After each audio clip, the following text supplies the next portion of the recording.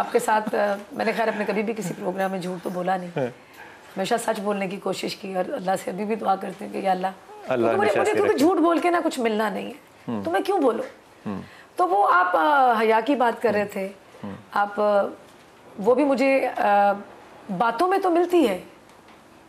नज़र कहने की हद तक नज़र कहने की हद तक मोहब्बत भी कहने की हद तक मिलती है लफ्जों में। मोहब्बत भी कहने की हद तक। लफ्जों में। मैं अपनी कसम खा के कहती हूँ मैं अपने रब की कसम खा के कहती हूँ।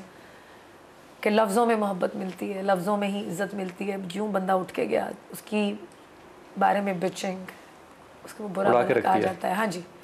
इसके पास फेक बैग था इसके पास वो सही बैग नहीं था वो आर्टिफिशियल बैग था। अच्छा मतलब पुरानी गाड़ी है। अच्छा अब गाड़ी देख के सलाम किया जाता है। जिड्डी अच्छा बड्डी गड्डी। शर्म की है लेकिन बात सच है। बात तो सच है मगर बात है बात सच है।